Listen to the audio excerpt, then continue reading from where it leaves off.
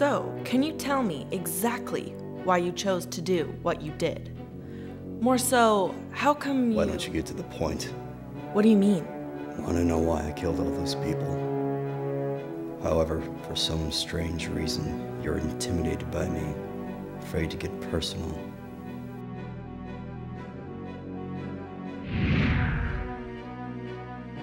Why did you kill those people?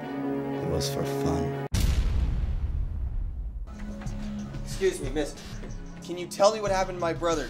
He, he's been missing for a few days. I have no idea where he went. He's now. Sir, sir, you need to calm down. We're working on it. Can you help me? I don't know.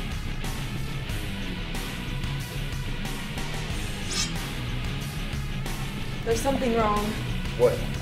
Someone's killing again. It matches Harris's MO to the T.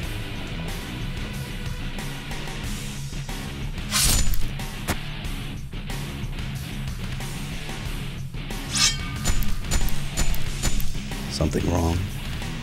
Confused on how I'm here and people are still dying? What are you planning? What are you not telling us? How does he get these people in broad daylight? How does he get them when he's in here? You can't go around looking for clues on your own.